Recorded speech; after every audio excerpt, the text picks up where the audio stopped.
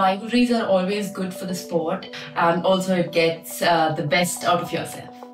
I think rivalry is important for every athlete or, or person to uh, better themselves. Because I think that's very important um, that you have someone else besides yourself who's pushing you to be better every single day. Because the end of the day sport can get a little bit monotonous. And so I think that it helps you keep that hunger alive. And um, I think it's definitely helped me over the years with the different rivalries I've had in singles and in doubles.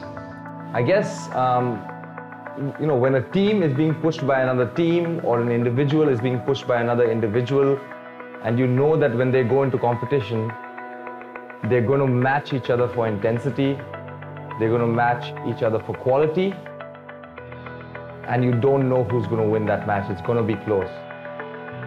That, for me, is a rivalry. And over time, as that continues to grow, those players and those teams push each other to actually get better. And a big part of the reason you go back to the practice, uh, to the practice court or the drawing board, however you look at it, um, one of the reasons you go back is to always come back and be better than your rival. So that to me is what a rivalry is. Most uh, talk was between uh, me and Marin. Um, Rio Olympics in uh, 2016, I think uh, that was most talk among everybody. I think it's unfair to say that there was a one. I mean, obviously, um, you know, there are some rivalries that that are iconic, but I think that um, during my uh, singles career, uh, there was a girl from Russia called Anna Chakvetadze. She was top 10 in the world, I think close to top 5. And she had a very unconventional game. And I feel that we played so much against each other. I had some rivals even in, in the when I was playing the nationals. And uh, there were people I played for 15, 20, 25 times. And they were people that pushed me to become better. So, um, but I think to to say that one person, I don't think there was one. I think when me and Martina were playing together, our biggest rivals were probably at that time uh, were uh, Vesnina, uh, Elena Vesnina, and Makarova, um, or Makarova, however you want to say it. We won the Wimbledon finals against them as well. We played a lot against each other. Um, also, there was uh, Babos Mladenovic at the time, who we played a lot against each other, and Mladenovic and Garcia. They were probably our biggest rivals. For me, I think my earliest rivalry began when I was in college. I, I went through the NCAA system and a couple of the players that I played against over there was were John Isner and Kevin Anderson. So when we were in college, we spent quite a lot of time playing each other, and you know those matches I felt pushed pushed me a lot personally because you know we wanted our team to beat their team, obviously, but also knowing that they were the best players in the country, and you know I had a chance to play them and beat them. And they did turn pro uh, one year before I did, so that meant you know the success that they had in the first year on tour really made me believe that I could also be successful on the ATP Tour. So I think that's how that uh, rivalry between Kevin Anderson and uh, John Isner and myself at least helped me a lot uh, in my early years. I can't just choose one from both, but yeah, uh, each of them has a different style of play and a different game. So I would say, um, yeah, both are legends. I think our sport really needs both of them. Um, I'm really sorry, but I cannot choose one of them. I will choose moments. I mean, on grass, I'll choose a Roger, and on clay, I'll definitely go with Rafa. Honestly, I am Team Roger. People such as myself and a lot of tennis players out there, a lot of just tennis fans, I think, like the way Roger makes it all look so effortless and yet so classy, and yet he's so good. And he does things to me that, you know, a lot of pros even go out there and say, wow, I can't believe he even attempted that shot, let alone make it. And he's actually doing it quite often. So, um, you know, that's the greatness of Roger Federer. I think it's the greatest rivalries not only in uh, tennis but also um, entire, I mean, globally because both of them are true champions, and I would say it is always a treat uh, for us to uh, watch them play. They are not just two of the greatest players of this uh, time or this generation, they are the two of the greatest players ever. The rivalry um, is the ones that you're going to watch 100 to 200 years from now and say that was a rivalry. Um, and I think it'll be very difficult um, for a rivalry like that of two greatest athletes of all time um, to have against each other again for a while. in my opinion, maybe the greatest rivalry in all of sport. Um, and it's still continuing today in 2020. That's more than a decade, absolutely crazy to even imagine that these guys are playing at such a high level for such a long period of time. Honestly, the best examples that any sport can ask as ambassadors of their sport. We're lucky to have Roger and Rafa. Well, I would say Nadal winning the Wimbledon in 2008, where um, Federer was, you know, of course, uh, he was about to make the uh, continuous uh, streak for the sixth time in the Wimbledon, getting that medal. But uh, yeah, it was uh, then Nadal took that.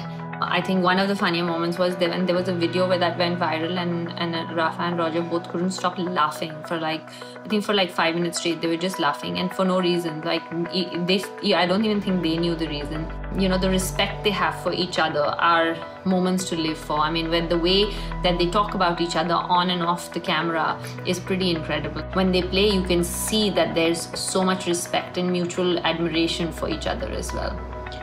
Yeah, the one, the, the, the match we talked about obviously was the 2008 Wimbledon uh, final, in my opinion, was the most iconic match.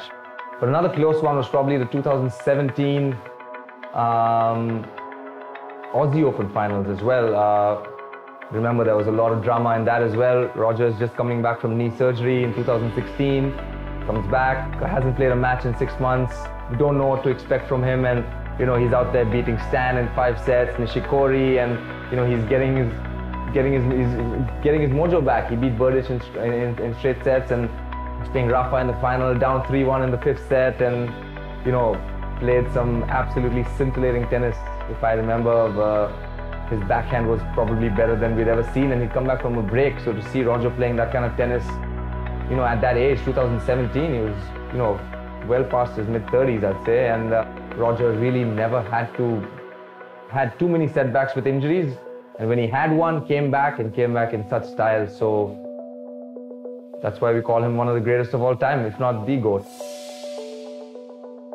When I won against uh, the Olympic champion uh, Li Xuerui in China Masters in 2012, I think, yeah, that was the closest for me uh, when I saw that it, it inspired me a lot in 2004 when, uh, you know, Nadal uh, got that win from the world number one. Probably more with Roger. I think that Roger's um, I think everybody imagines him always to win Wimbledon whenever he plays, and you can just picture him. You close your eyes and you can picture him in all whites lifting the Wimbledon trophy. A moment like that was for me when I did win Wimbledon myself, and um, you know when Martina and I won together, and it happened to be with another Swiss.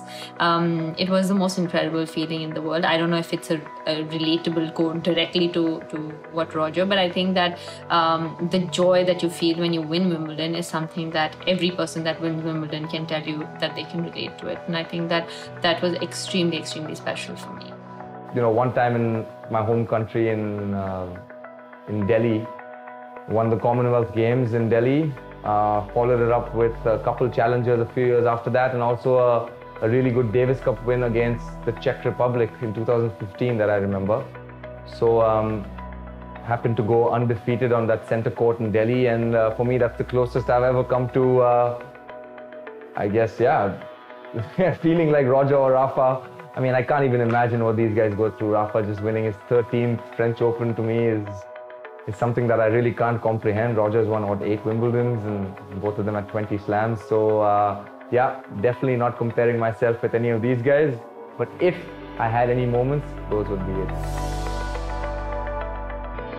I would just say that keep believing in yourself and stay positive and keep improving work hard, stay committed. There's a lot of sacrifice involved, but don't make that scare you because the passion and the love for um, the sport that you're playing will keep you going. And uh, yeah, try and be the best best athlete that you can be rather than competing with other people. I think the first thing is the competition within yourself.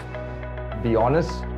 Um, give your best at all times no matter the situation. Be respectful to everybody around you, um, opponents, of course, but your own team and just the sport. I think understanding that uh, you know you're a part of something, you're a part of a community, and uh, all you can do is do your best to represent it and um, you know bring it up in the in the best way possible.